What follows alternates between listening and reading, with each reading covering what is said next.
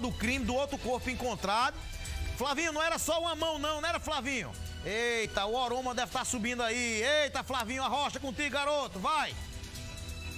Era não, Erli, não era só uma mão não. Deixa eu aproveitar aqui, doutora, continua aqui, que ali o cheiro não está muito agradável.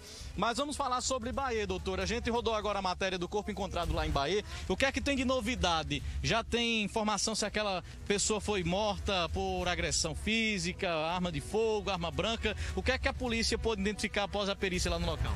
o perito constatou pelo menos um sinal de violência, tratando-se de um disparo de arma de fogo nas costas, pelo menos um. É, e nós, é, é, enquanto estávamos no local, é, conversamos com um possível cunhado da vítima. É, esse, esse rapaz compareceu ao local e disse que muito provavelmente poderia se tratar do cunhado dele. Eu pedi que ele se encaminhasse à delegacia com documentos pessoais da suposta vítima. E esse parente estava desaparecido há quanto tempo, doutor? Ele disse que pelo menos três dias ele não era visto em casa. Uma marca de tiro nas costas. Isso, pelo menos um. Ok, olha, agora neste momento, doutor, o corpo já foi retirado, a gente mostra nesse momento, vamos acompanhar aqui, o corpo encontrado aqui na mata da Cimepá já foi retirado do local, a perita Amanda já está aqui, Valfredo Galdense, deixa eu ir aqui rapidinho, doutora, vem cá, Valfredo, para a gente mostrar o local, um local de cova rasa, a caatinga está muito grande aqui, é verdade, não tem como a gente omitir essa informação, mas é isso, ossos do ofício, tá aqui, olha, como a gente disse, uma cova rasa, pouco mais de um palmo de fundura, talvez não dê nem um palmo, a cova aqui onde estava o corpo encontrado aqui na mata da Cimepá. Misericórdia, a Caatinga tá grande. Vamos, vamos sair daqui. Deixa eu conversar aqui com a perita, doutora Amanda. O corpo, inclusive, já está sendo retirado. Já está sendo retirado daqui. Deixa eu conversar aqui. Eu tô com um cajado aqui na mão, Erli, porque o acesso aqui é muito difícil. Daqui a pouco eu vou mostrar para você ali como é o acesso àquele local. Doutora Amanda, o que é que a perícia identificou aqui neste local? Bom dia, boa tarde. Boa tarde. É, é um cadáver do sexo masculino, estava vestido, não estava portando nenhum acessório pessoal. É, o cadáver está em avançado estado de putrefação. A delegada até estava perguntando o tempo mais ou menos que estava ali. Eu e meu técnico Elito, a gente acredita que em torno de sete dias aproximadamente.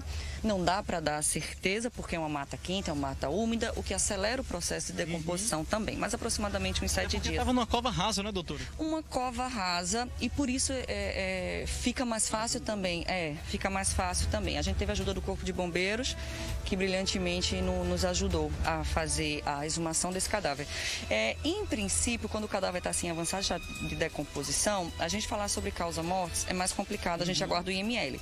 Porém, é, nós conseguimos identificar uma lesão por provável projétil de arma de fogo na cabeça. Uhum, tá? Apenas um tiro.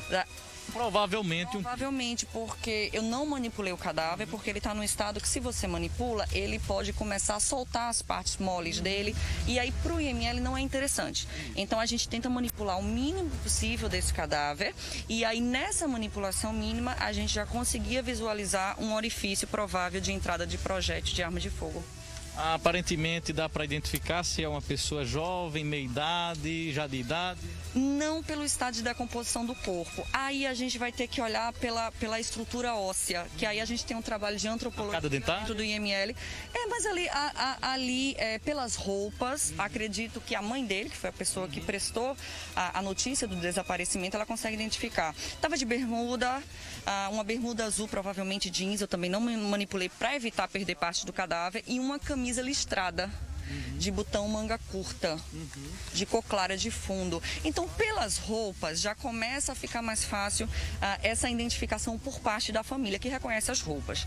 Fora isso, a gente tem a cada dentária, a gente tem DNA, o corpo ainda está muito preservado em termos de estruturas que, que permitem o estudo do DNA. Ok, doutora, muito obrigado. Parabéns pelo brilhante trabalho. Obrigada, obrigada. Tá, e olha, vamos saindo aqui, Gaudêncio, a gente vai mostrar eh, o acesso a esse local. Deixa eu caminhar aqui passar aqui na frente, não é fácil, um acesso difícil aqui a este local. Pessoal aqui, olha, olha só, aqui tem que usar de artifícios aqui para poder passar. Vamos lá. Uma espécie de cajado aqui e eu vou andando aqui, minha produção vai me passando quanto tempo eu tenho, eu vou procurar adiantar o máximo aqui para a gente poder mostrar o trabalho aqui de remoção desse corpo, trabalho da perícia. Tem outras equipes de reportagem aqui no local que estão enfrentando também essa mesma dificuldade. Olha, o local aqui é estreito. Deixa eu passar aqui para a gente chegar lá na frente e mostrar o que, é que a gente enfrenta aqui, a polícia, a própria comunidade também que sobrevive aqui diante de todas essas dificuldades encontradas aqui nessa região, uma região de lama pantanosa. Deixa eu dar uma passadinha aqui. Vamos passar aqui para mostrar. Opa, esse acesso. Olha, tem uma espécie de um riacho aqui. E a gente tem que ir até aqui na frente, é um bananal. E aqui tem isso aqui, olha. Essa ponte de madeira que não é nada segura e a gente passa morrendo de medo para poder chegar ao local. A gente tá voltando, agora vem por aqui. Passa aqui nesse labirinto, dentro dessa vacaria, porque aqui tem outra ponte. Olha, essa daqui, outra ponte. E agora a gente segue aqui por dentro dessa região até chegar no acesso, Erli. É isso.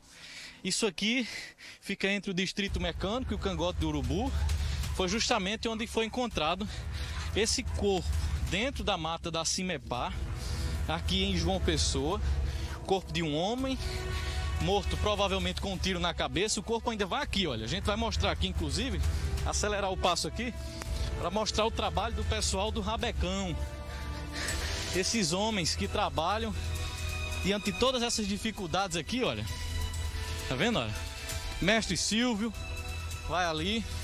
Olha só que dificuldade esses homens enfrentam. São servidores da segurança pública do estado da Paraíba, que muitas das vezes não são valorizados, mas que merecem o nosso reconhecimento. Silvio, trabalho que não é fácil, né? É, é demais, é demais, é muito difícil, mas a gente consegue fé em Deus primeiramente. Silvio trabalha no Rabecão. Olha a dificuldade. Vocês estão achando que é só carregar o peso, é só passar na lama? É não, é aguentar a caatinga também. O cheiro muito forte aqui. E aqui, olha, vai ter que passar por dentro da lama mesmo. Cuidado, pai. Cuidado aí. Olha só. É o jeito. É o jeito fazer isso mesmo, soltar. Porque aqui, olha, tem essa ponta improvisada aqui. A ponta que balança, mas não cai. E se você não tiver, não for bom de equilíbrio, acaba caindo aqui. E aqui a gente anda ainda mais um pedaço para poder chegar até lá na frente. Aqui ao lado, olha, a Cimepar. Mostra ali, Gaudêncio. A fábrica da Cimepar, que muita gente conhece quando passa ali pelo acesso oeste. Mas não imagina que aqui embaixo tenha tudo isso aqui. E aí a gente entra aqui entre as casas.